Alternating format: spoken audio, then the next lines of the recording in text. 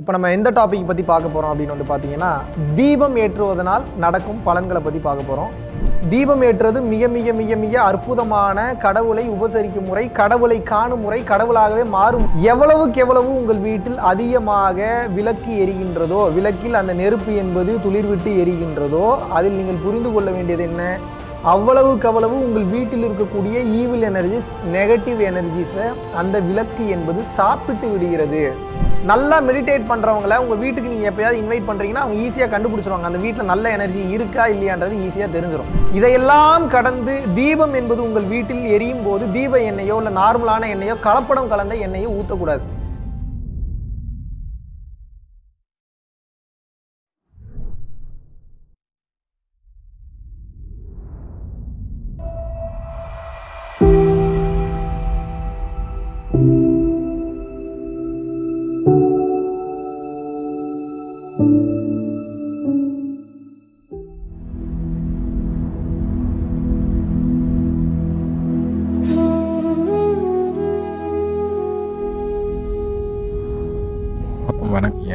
வந்து மலேசியாவிலேருந்து நான் பேசுகிறேன் நீங்கள் வந்து ஆசிரியர் வச்சுட்டு போனதுக்கப்புறம் நீங்கள் சொன்னது செஞ்சுட்டேன். அந்த அதெல்லாம் சிறப்பாக செஞ்ச பிறகு கோயில் நல்லபடியாக போயிட்டுருக்கு.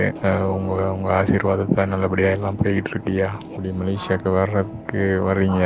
ஸோ ஒரு முறை திரும்ப மறுபடியும் நம்ம ஆயுதத்துக்கு வந்து வர்றதுக்கு ஏதோ வாய்ப்பு கிடைச்சிங்கன்னா கண்டிப்பாக வரணுங்க. நீங்கள் கண்டிப்பாக வந்து ஒரு வாட்டி பார்த்துட்டு போகணும். ஏன்னா நீங்கள் ஒரு முறை வந்துட்டு போனதுக்கே நம்ம ஆலயத்தில் நல்லா பல இன்னல்கள் வந்தாலும் அது அப்படியே அப்படியே கரைஞ்சி அப்படியே தெரியாத மாதிரி போயிடுது பல கஷ்டங்கள் வந்தாலும் அந்த அதெல்லாம் தாண்டி எங்களால் அந்த ஆலயத்தை கொண்டு போக முடியுது. சிறப்பாக காஞ்சி விஸ்வநாத ஐயா நினச்சி வேண்டுவேன். அது எப்படியாவது ஒரு வகையில் வந்துடும் ஐயா. ஏதோ ஒரு முறையில் வந்து ஏதோ ஒரு பெரிய பேருதவியாக போய்கிட்டு இருக்கு ஏறிக்கிட்டு இருக்கு. ஸோ இன்னும் அதை நல்லபடியாக ஏறி முடிக்கணும். அது உங்களோட அருளும் வேணும் ஐயா. ஸோ முடிஞ்ச அளவுக்கு பாருங்கள் இந்த முறை வந்தீங்கன்னா மலேசியாவுக்கு நம்ம ஆலயத்துக்கு எதுவும் வர முடியுமா பாருங்கள் திரும்ப மறுபடியும் உங்கள் காலடிங்க படுமான்னு எங்கிக்கிட்டு இருக்கேன். குருவே சரணம். அனைவருக்கும் வணக்கம்.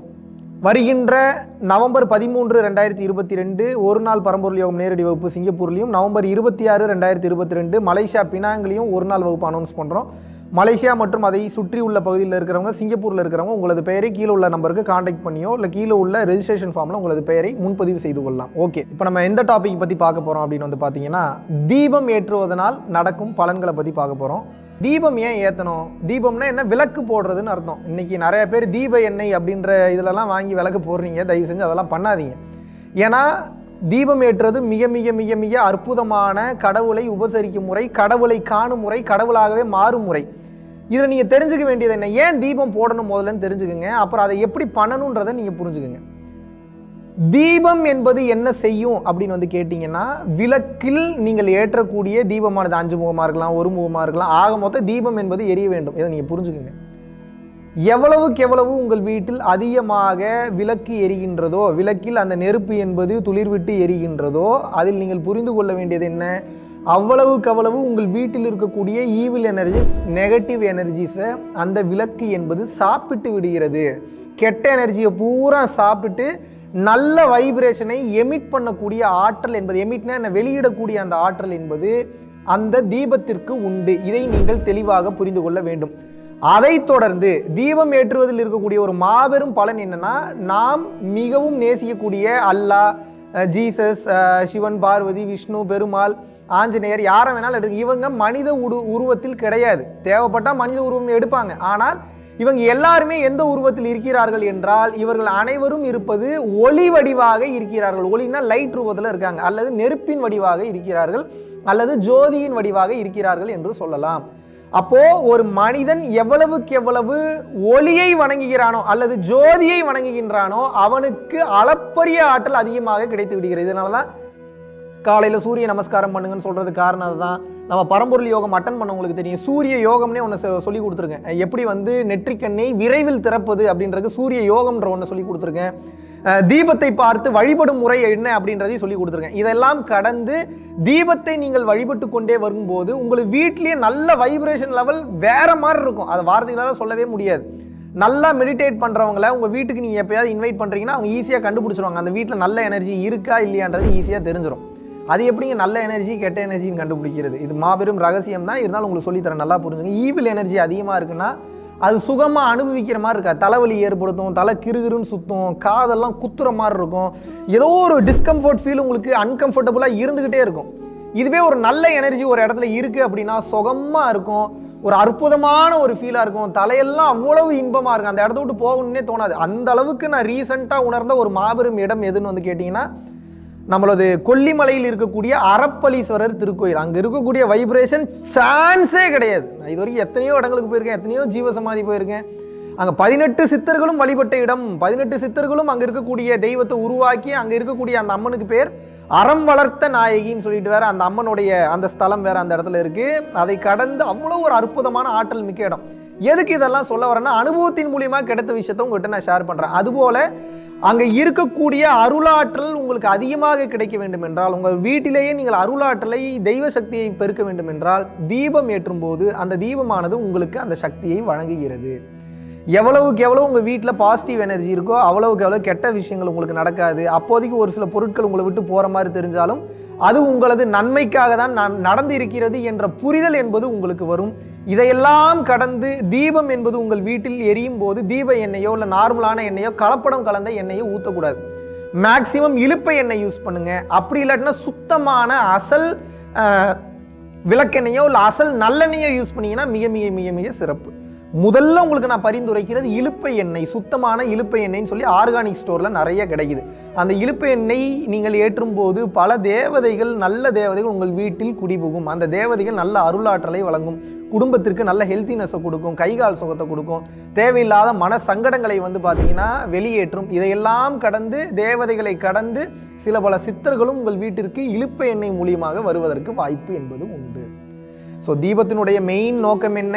நமது குமரிக்கண்டம் லெமுரியா கண்டம்னு சொல்லுவாங்க. இப்போ தான் தமிழ்நாடு இந்தியான்னு பிரிஞ்சிருக்கு.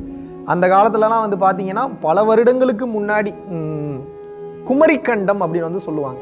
அந்த குமரிக்கண்டத்தில் இருந்த தமிழர்கள் நம் தமிழர்கள் ஒளியைத்தான் வணங்கினார்கள். ஒளிதான் இறைவன் என்று உணர்ந்திருந்தார்கள். இன்றைக்கு திருமூலரும் ஒளியை தான் இறைவன்றாரு. வள்ளல் பெருமானும் ஒளியை தான் இறைவன்றாங்க. அது பூர்வ மத்தியத்திற்குள் இருக்கிறதாக பல சித்தர்கள் கூறிவிட்டார்கள். இதில் நீங்கள் ஃபைனலாக புரிஞ்சுக்க வேண்டியது என்ன? ஒளி தான் இறைவன் தெரிஞ்சு போச்சு. அந்த ஒளி எங்கே இருக்குது?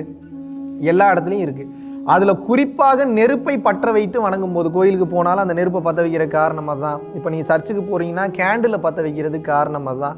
ஸோ வந்து பார்த்தீங்கன்னா எந்த ஒரு முக்கியமான விஷயத்தை ஆரம்பிக்கும் போது ஒரு நெருப்பை முன்வைத்து ஒரு தாலி கட்டும்போது அக்னி சாட்சியாக நம்ம எல்லாமே அந்த நெருப்பை முன்வைப்பதற்குண்டான காரணம் என்னவென்று கேட்டீர்கள் என்றால் அந்த அக்னியில் இருந்துதான் ஒரு உயிர் அந்த சுத்த உஷ்ணத்தால் ஒரு உயிர் உருவாகிறது. அந்த அக்னியின் மூலமாகவே அந்த சுத்த உஷ்ணத்தை கடந்த நிலையில் அந்த தனஞ்சயன்ற வாயு கடைசியாக உடலை விட்டு உயிர் பிரியும் போது அந்த உஷ்ணம் விலகும் போது உடலில் இருக்கக்கூடிய உயிர் என்பது பிரிகிறது. ஸோ உஷ்ணத்தில் ஆரம்பித்து உஷ்ணத்தில் முடிகிறது. இன்னும் சிம்பிளாக சொல்லணும்னா ஒளியில் ஆரம்பித்து ஒளியில் முடிகிறது. இதில் தன்னை உணர்ந்தவன் ஒளியோடு ஒளியாகவே மாறிவிடுகிறான் ஒளியோடு ஒளியாகவே பயணிக்கிறான். அட் த எண்ட் என்ன? தீபம் என்பது உங்கள் வீட்டில் முடிஞ்ச அளவுக்கு ஏற்றணும் அது ஏன் ஈவினிங் டைமில் மலை ஏற்றணும் மலை ஏற்றணும் அணைச்சிடணும்னு ஏன் சொல்கிறாங்கன்னா எலியோ இல்லை வேறு ஏதாவது பள்ளியோ இல்லை வேறு ஏதாவது சில விலங்குகள் நீங்கள் வீட்டில் வளர்க்குறீங்க பெட்ஸ் வளர்க்குறீங்கன்னா வந்து அந்த தீபத்தை தட்டி விட்டுருச்சுன்னா வீடே தீ பிடிச்சி எரிஞ்சிருன்ற காரணத்துக்கு தான் மலை ஏற்றணுன்றது ஸோ நீங்கள் உங்கள் வீட்டில் மேக்ஸிமம் இருக்கிற வரைக்கும் உங்கள் கண்காணிப்பில் இருக்கிற வரைக்கும் எவ்வளோக்கு எவ்வளோ தீபத்தை எரிய விடுகிறீர்களோ அவ்வளவுக்கு அவ்வளவு உங்கள் வீட்டில் அருளாற்றல் என்பது அதிகரிக்கும். நன்றி. வணக்கம். பரம்பொருளின் கருணையினால உங்களுடைய இடைவிடாத அன்னதானத்திற்கு நீங்கள் அனுப்பப்பட்ட பணத்தின் மூலியமாக பல லட்சம் உயிர்களுக்கு இது நாள் வரைக்கும் வந்து சாப்பாடு கொடுத்துருக்கோம். ஸோ கொரோனாலேருந்து ஆரம்பித்து ஒரு நாள் கூட விடாமல் பல உயிர்களுக்கு வஸ்திர தானங்களாக இருக்கட்டும் படிக்க முடியாதவங்களுக்கு கல்வித்தொகை கட்ட முடிய விஷயங்களாக இருக்கட்டும் இல்லை ஸ்போர்ட்ஸ் ரீதியாக விளையாடக்கூடிய நல்ல மாணவர்களை அனுப்பி வைக்கக்கூடிய விஷயங்களாக இருக்கட்டும். அதை தொடர்ந்து வந்து பார்த்தீங்கன்னா ரெகுலராக மந்த்லி பேசிஸில் ஏழை குழந்தைகளுக்கு க்ரோசரிஸ் கொடுக்கறதாக இருக்கட்டும். இல்லை அவங்களுக்கு வந்து பார்த்தீங்கன்னா சேம் அவங்க விருப்பப்படுறவங்களுக்கு வீட்டு துணிமணிகள் வீட்டுக்கு தேவைப்படக்கூடிய மற்ற பொருட்கள் வாங்கி கொடுக்கறதாக இருக்கட்டும். எல்லா உதவிகளும் வந்து பார்த்தீங்கன்னா உங்களோட உதவினால தான் போயிட்டு இருக்கு சாது சிதம்பர சுவாமிகள் வளநாட்டார் வந்து ஒரு வார்த்தை சொல்லுவார். பசித்தோர் முகம்பார் பரம்பொருள் அருள் கிட்டும் அப்படின்னு வந்து சொல்லுவார். வள்ளல் பெருமானும் ஜீவகாருண்யம் உள்ள சம்சாரிகளுக்கு எப்பேற்பட்ட சூழ்நிலையிலும் வந்து பார்த்தீங்கன்னா அவங்களோட லாபம் தடைபடாது தொழில் பிரச்சனைகள் வந்து நிவர்த்தியாகும். அதை தொடர்ந்து வந்து வாழ்க்கையில் குடும்ப பிரச்சனைகள் விலகும். அதுபோக குழந்தை சம்பந்தமான பிரச்சனைகள் எதுவாக இருந்தாலும் வந்து இந்த அன்னதானத்திற்காக நீங்கள் செய்யக்கூடிய ஒவ்வொரு ரூபாயும் அது வந்து உங்களுக்கு நிச்சயமாக புண்ணியமாக வந்து சேரும். புண்ணியத்தை கடந்த நிலையில் முக்தி பாதைக்கும் அது நிச்சயமாக உங்களை வழிநடத்தும். அதனால விருப்பப்படுறவங்க நம்மளுடைய பரம்பொருள் அறக்கட்டளினுடைய சேரிட்டி ஆக்டிவிட்டீஸ்க்கு தங்களுடைய விருப்பப்படக்கூடிய நன்கொடையை கீழே உள்ள டிஸ்கிரிப்ஷனில் இருக்கக்கூடிய அக்கௌண்ட் நம்பருக்கு செலுத்தலாம். இதற்குண்டான அந்த அருளை சித்தர்கள் உங்களுக்கும் உங்கள் குடும்பத்தாருக்கும் வழங்க வேண்டுகிறேன். குருவின் பரிபூர்ண அருளாசிகள் குரு கடாட்சம்